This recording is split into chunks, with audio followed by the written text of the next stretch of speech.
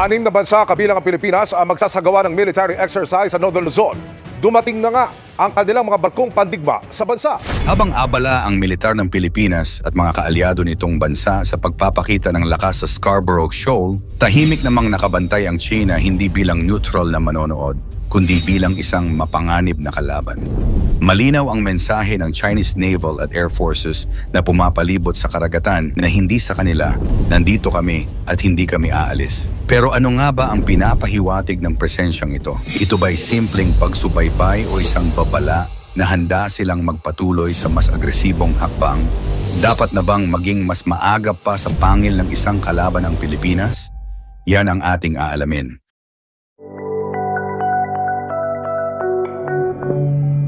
Ang multilateral exercises sa West Philippine Sea. Abala ang militar ng Pilipinas at mga kaalyadong bansa sa pagsasagawa ng multilateral exercises sa karagatang malapit sa Scarborough Shoal. Ang pinakahuling joint exercises na ito ay may participation ng halos isang dosenang warships at fighter jets mula sa limang bansa. Ang Pilipinas, Japan, Australia, New Zealand at ng Estados Unidos na namumuno nito.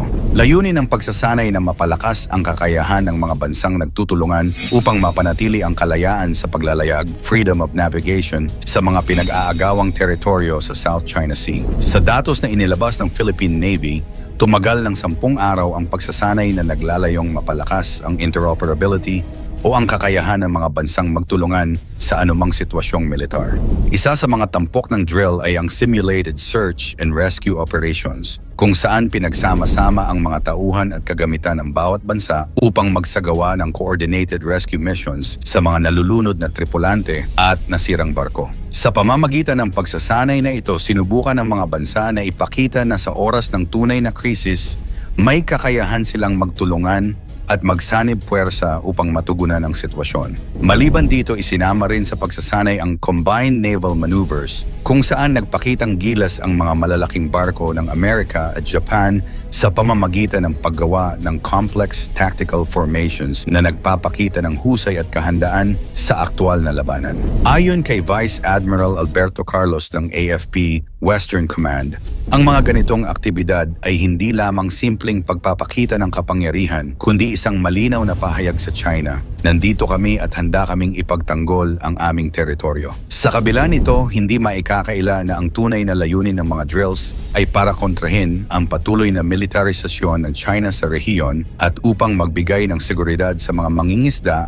at mga komersyal na barko na patuloy na nahaharap sa panggigipit mula sa Chinese Coast Guard at mga maritime militia.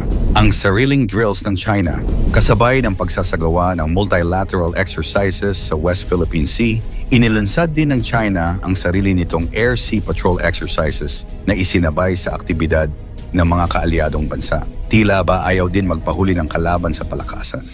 Sa isang pahayag mula sa Chinese Southern Theater Command, ipinagmalaki nila na ang kanilang mga barko at eroplano ay nagsagawa ng high-intensity combat training na naglalayong palakasin ang kakayahan ng kanilang puwersa sa oras ng kagipitan. Ayon sa tagapagsalita ng Chinese military, hindi sila natinag sa ginagawang joint drills ng Pilipinas at ng mga alyansa nito.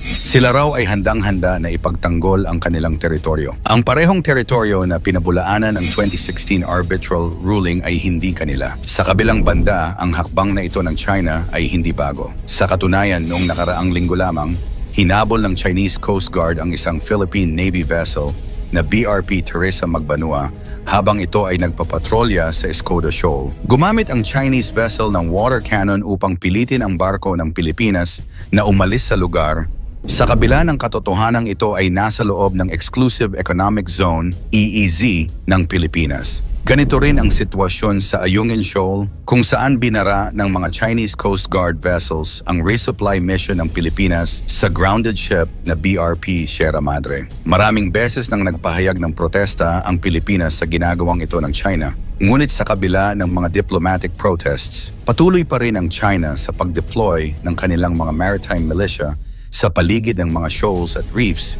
na inaangkin ng Pilipinas. Ano ang nais ipahiwatig ng ganitong kilos ng Beijing? Ayon sa ilang eksperto, malinaw na nais ng China na ipakita ang kanilang domination sa rehiyon at ihayag na anumang hakbang na ginagawa ng Pilipinas at ng mga kaalyado nito ay hindi magtatagumpay. Ipinapakita rin nila na handa silang magpataw ng sariling bersyon ng coercive diplomacy sa pamamagitan ng paggamit ng puwersa sa karagatan.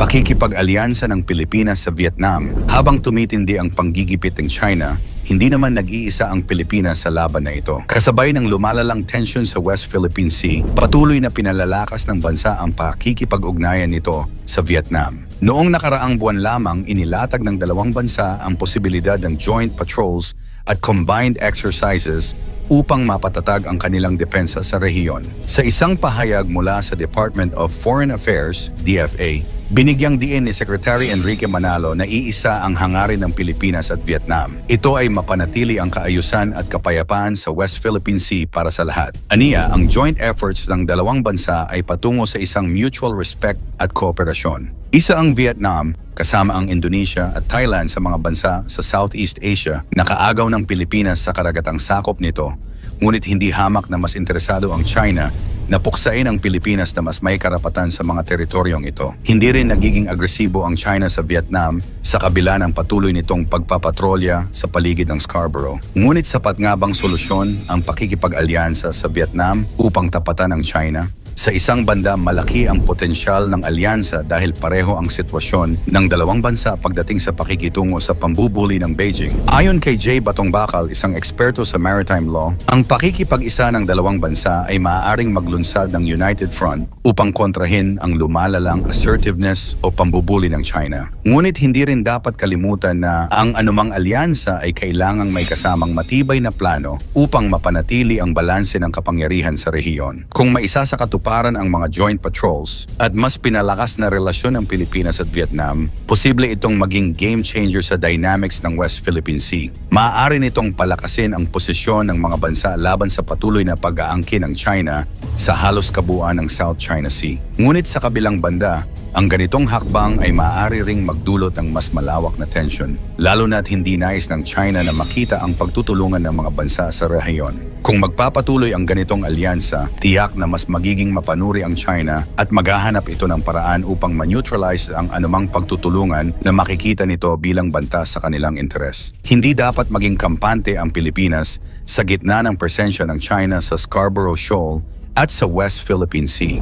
Ang ginagawa nitong pagbuntot sa multilateral exercises ay isang malinaw na indikasyon na hindi sila magdadalawang isip na ipaglaban ang kanilang sinasabing teritoryo. Ang agresibong tugon ng China mula sa kanilang sariling drills hanggang sa pananakot sa BRP Teresa Magbanua ay nagpapakita na handa silang gamitin ang puwersa upang ipatupad ang kanilang kagustuhan. Kaya naman mahalagang maging handa ang Pilipinas. Ang pakikipag-alyansa sa ibang bansa tulad ng Vietnam at pagsasagawa ng joint drills sa mga malalakas na kaalyado ay mga magagandang hakbang upang palakasin ang depensa laban sa China, ngunit hindi ito sapat. Kailangan ng bansa na magpatuloy sa pagpapaigting ng seguridad sa karagatan habang patuloy na nakikipag-ugnayan sa mga kaalyadong bansa upang masigurong ang ating soberanya ay hindi maipagkakait. Sapagkat sa dulo, hindi lamang karagatan at yaman ang nakataya rito. Nakataya ang dignidad ng bansa at ang karapatan ng bawat Pilipino na magkaroon ng kalayaan sa sariling teritoryo. Ikaw,